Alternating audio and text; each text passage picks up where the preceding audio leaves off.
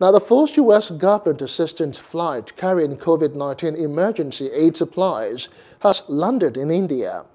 A military aircraft Super Galaxy military transporter brought the full supplies to help India to fight the deadly second COVID-19 wave that has wreaked havoc across the country, straining its healthcare system.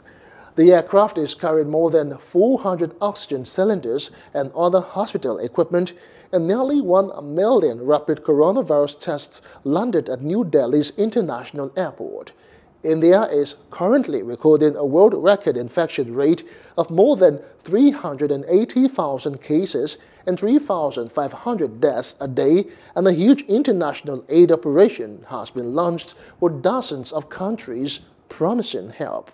Hello, hope you enjoyed the news. Please do subscribe to our YouTube channel and don't forget to hit the notification button so you get notified about fresh news updates.